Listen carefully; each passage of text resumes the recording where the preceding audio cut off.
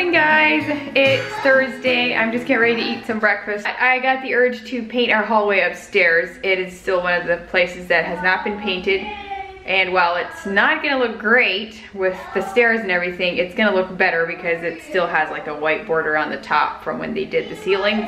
So I'm gonna try and do that and I need to get the boys some breakfast as well. They're playing with Legos right now, but that's kind of the plan for today. I'm also gonna try and give you guys a few tips as far as trimming goes. I've had a lot of questions um, when you have watched me cut in with my paintbrush, with my dark paints and everything. I'll try to give you my best tips that I have, so stay tuned.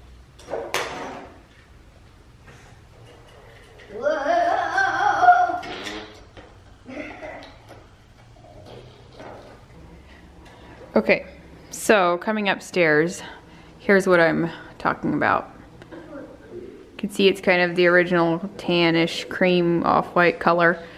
And yeah, the stairs, or the railing, they're in desperate need of something else. Eventually, we'll replace the floors and put, you know, trim and stuff down, and then we want to put a whole new railing in here, which I'm really excited about. But that's a pretty major task and it'll be pretty majorly expensive and stuff, so we'll need to kind of save up for it. But they had done this wall here when they did the main walls, my dad and Nick. So I don't have to do this one, but you can see the trim is still cream colored. So I'm gonna try and paint that as well, I think. Although I hate painting trim when it's by the carpet. The boys are feeling better except for the coughing. They're just constantly. Caden, you don't have to cough on cue though, okay? I'm just using off the shelf white from Home Depot in the Behr Premium Plus Ultra. This time I had gotten it in satin. Most of my other walls downstairs I used this same white, but I used it in the matte finish. However, I needed to paint a couple doors, so I wanted a little bit more of a sheen to it. This is my favorite paint, I would have to say, because it's very thick and it goes on very good. My dad does a lot of staining and um, some painting and stuff, and he uses this as well. He says it's great. Okay, so let me just say, I have had some experience painting. I mean, it does take practice and it's something I don't mind doing. Hang on, let me close the door here. It does take practice, but the key to being really successful at trimming without having to tape everything is having a good brush. And you guys, I found it. I think it was when we moved down here or before we moved, I had picked up another one. I used to use the ones that have like the little blue stubby end on it. And I got this one. It's a Wooster. Um, I'll show you the package. I saved it just for you guys. It's a Wooster Pro. All paints and stains. It's a nylon polyester one and it's a two inch trimming brush.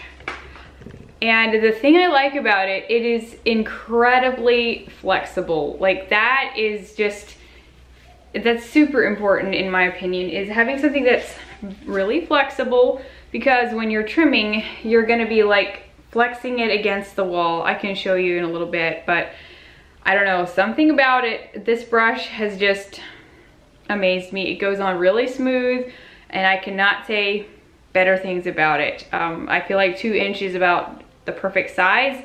Bigger, it gets more bulky and it's a little harder to maneuver. They also get a little thicker. So if you need a brush recommendation, try it. I will go ahead and link what I can down below if you are looking for one, but you can pick them up probably at any home improvement store as well.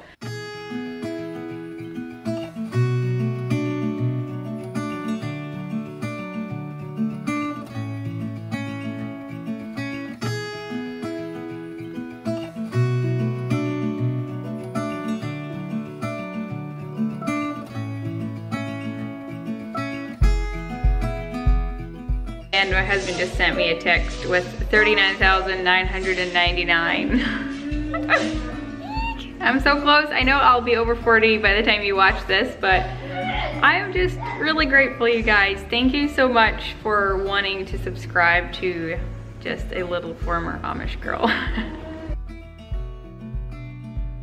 I'll see if I can do this without too much background noise. no promises. Um, it's a little hard to see because the wall is already light colored, but I wanna try and show you a little bit how I go about when I do trim in case you're wondering. So first of all, I don't like to have too much paint on my brush.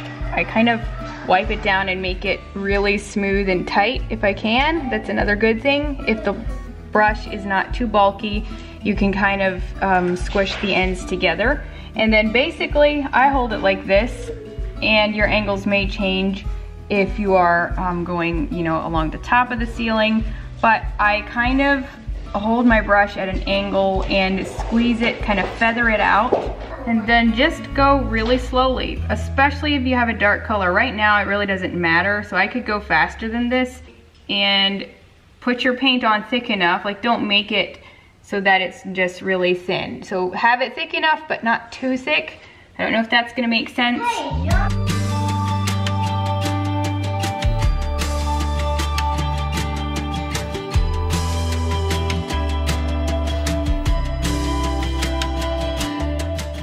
My hands are literally like cramping up almost. I've had him in this position for a long, keep holding the container with one hand and the paintbrush in the other. Taking a long time to do all of this trimming because I'm ending up doing most of the jambs like in the rooms and I'll probably need a second coat. So the trimming is gonna be the main thing today. Rolling won't take long and that's my favorite part because you know, you see the most result.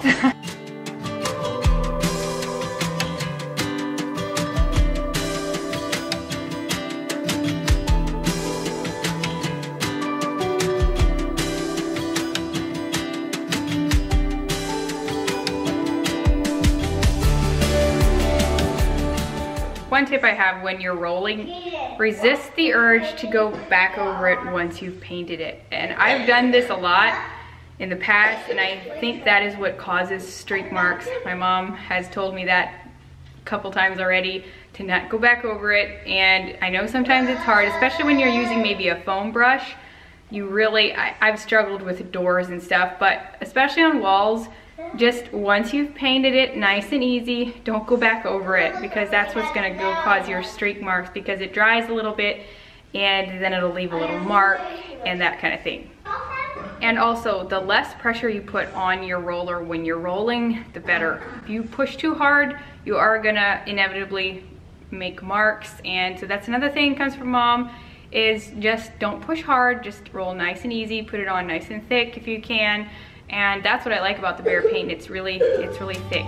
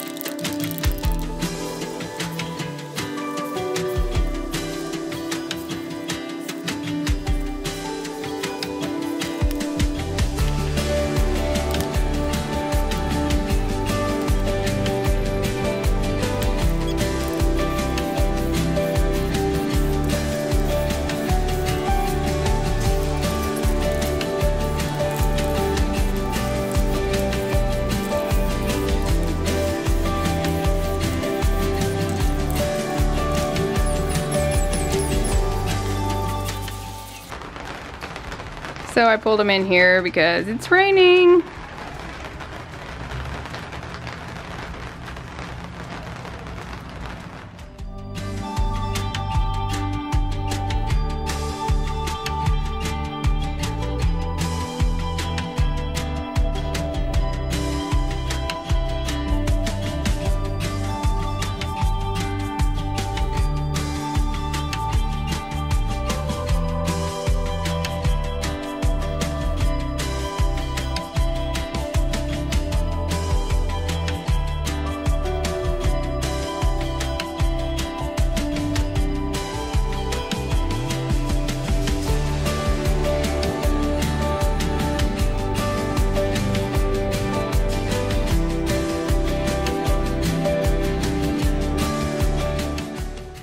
Hey guys, it's the next morning. I did not finish filming last night. I had to wait to put the doorknobs on until this morning, but I'm gonna go ahead and show you guys what the hallway looks like. I know it's not like a dramatic difference or anything, but to me it feels a lot fresher, it's brighter, and I also put some stuff on the walls.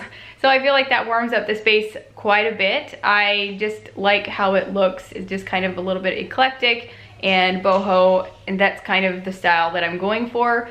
I am happy with everything. I don't know how long the doorknobs will last. I've never spray painted these types of doorknobs before, so we shall see, but everything I had was something I had on hand.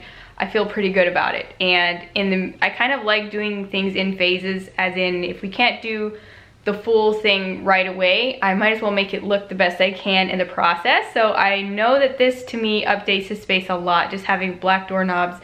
And the doors themselves aren't the best job either, but for the type they are, I'm okay with it. And if I'd ever want to upgrade them, I could do what we did to the front door, but I doubt we will because eventually we'd like to get same doors throughout. I hope that you guys uh, enjoyed the tips I gave you and I hope they're helpful in some way. And also that it just inspires you guys to try something on a really tight budget, spending very little money or no money.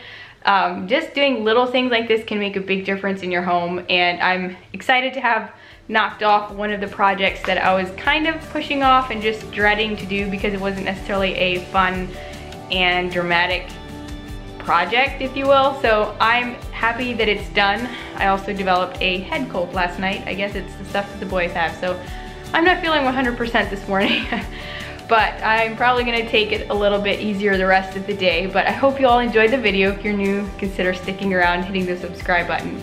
And that's it, guys. I hope you have a wonderful day. May God bless you, and I will see you next time. Bye, guys.